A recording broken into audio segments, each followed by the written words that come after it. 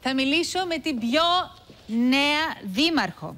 Με τη δήμαρχο που βγήκε με όλες τις ψήφους του νησιού δικούς της. Δικές της, η ψήφος. Αναστασίας Σπυριδάκη, μας ακούς εκεί; Μια χαρά σας ακούω. ε, καλησπέρα σας. Καλησπέρα από ένα από τα πιο όμορφα μικρονίσια του Βορείου Αιγαίου, εδώ στον Αϊστράτη. Ε, Άγιο Στράτιο, εμείς το λέμε Αϊστράτη. Μια χαρά τον είπες και συνάντια, Αϊστράτη.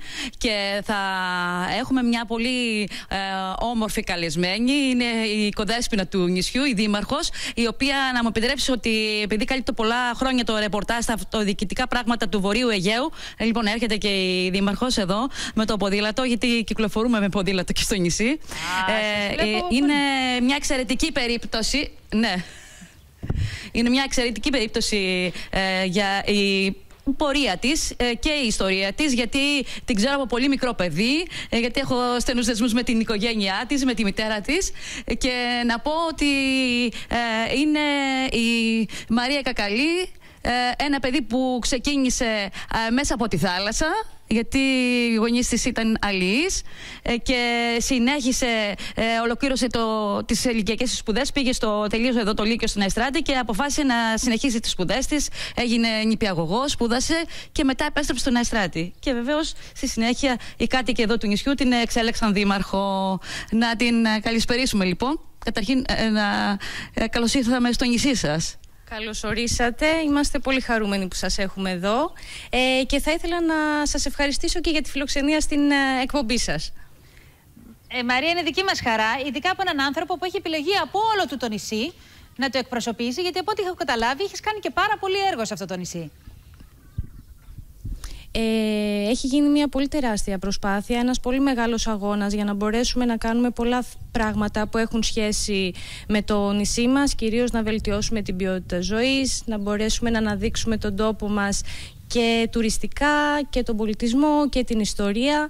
Ε, δεν είμαι μόνη μου, έχω μια πολύ καλή ομάδα συνεργατών οι οποίοι και αυτοί βοηθάνε κατά το δυνατόν καλύτερα για να πετύχουμε τους ε, στόχους μας όλοι οι νέοι άνθρωποι, μα έχει κάνει μεγάλη εντύπωση, είναι όλοι οι νέοι άνθρωποι που ασχολιόντουσαν για πρώτη φορά. Να πούμε ότι είναι δεύτερη τετραετία για την ε, πρώτη πενταετία βέβαια και δεύτερη τετραετία για την ε, ε, δήμαρχο την Μαρία Ντιγκακαλή εδώ στον Αϊστράτη. Και μας έχει κάνει εντύπωση ιδιαίτερη γιατί όλα οι δήμαρχοι και τα άλλα μέλη του Διοικητικού Συμβουλίου στην πλειοψηφία τους τι ηλικία έχουν; Ε, ανέβηκε λίγο ο μέσος όρος για να είμαι ειλικρινή σε αυτή την ε, τετραετία, γιατί μεγαλώνουμε. Ε, είμαστε γύρω στα 40-42 έτη ο μέσος όρος ηλικίας. Ε, οι νέοι άνθρωποι έχουν λόγο, έχουν άποψη, ε, έχουν αποφασίσει να επενδύσουν σε αυτόν τον τόπο, οπότε είναι πάρα πολύ σημαντικό να συμμετέχουν στα κοινά ε, όσο πιο ενεργά γίνεται, πόσο μάλλον από τη θέση ενός Δημοτικού Συμβούλου, ενός Αντιδημάρχου, ενός Δημάρχου. Μαρία, εκτός από όλα αυτά που έχουμε μάθει με τις 175 εκατομμύρια κρίδες που εξαφάνισες από το νησί και μπράβο σου σε εκείνη την κρίση που είχατε. Εκτός από όλα τα άλλα έργα που έχουν γίνει σε αυτό το νησί, ξέρω ότι προετοιμάζεις ένα δρόμο για μια ενεργειακή αυτονομία του νησιού. Θέλεις να, να μας μιλήσεις γι' αυτό; Ε, για το Πράσινο Νησί μιλάτε, για το ναι. project iStrat Πράσινο Νησί, το οποίο έχει σαν στόχο την ενεργειακή αυτονομία του νησιού κατά 85% με τη χρήση ανανεώσιμων πηγών ενέργειας, ε, ήλιο και αέρα. Είμαστε σε ένα πάρα πολύ καλό στάδιο μετά από πάρα πολύ αγώνα, μετά από πάρα πολλά χρόνια. Έχουν ε, βγει στον αέρα οι διαγωνισμοί για τα δύο μεγάλα υποέργα που έχουν σχέση με την κατασκευή του υβριδικού σταθμού και με την κατασκευή του δικτύου τηλεθέρμανσης.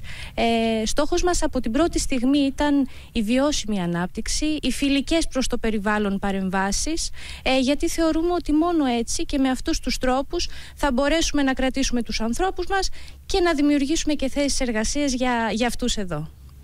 Τι ωραία, βρε Μαρία. Και είσαι και μητέρα, και είσαι και νηπιαγωγός, και είσαι και ενεργή δήμαρχος. Θέλω να μου πεις, έρχεται, έρχομαι εγώ στον Αϊστράτη. Ωραία. Έχω εκτός από την ιστορικότητα του νησιού και από όλα όσα έχω να μάθω εκεί και να δω και να συγκινηθώ και να γίνω ένα με την ιστορία μας.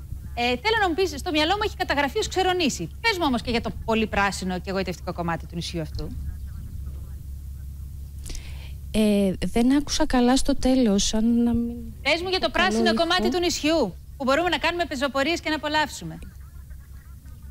Α, ναι, ναι, φυσικά. Λοιπόν, έχουμε το δάσος της Βελανιδιάς, το οποίο βρίσκεται στη βορειοανατολικά, στην περιοχή κοντά στο Αλονίτσι, στην περιοχή Αυλάκια, όπου έχει μια εξαιρετική περιπατητική διαδρομή.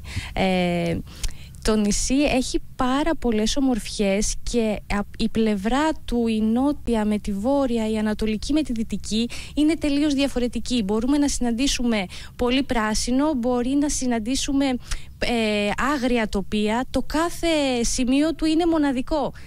Αν δεν το περπατήσεις και αν δεν περιηγηθείς αυτό, δεν μπορείς να, να έχεις ολοκληρωμένη άποψη. Θα έρθουμε άμεσα, εύχομαι να μας δοθεί άμεσα η ευκαιρία, να έχετε ένα πολύ όμορφο καλοκαίρι και καλή συνέχεια στο έργο σας. Χάρηκα πάρα πολύ Μαρία για αυτή μας τη συνάντηση. Σας ευχαριστούμε και τις δύο πολύ. Σας ευχαριστώ πάρα πολύ και ελπίζω κάποια στιγμή να τα καταφέρετε και να έρθετε στο νησί μας. Θα είναι πολύ μεγάλη χαρά να σας φιλοξενήσουμε. Και δική μας, και δική μας.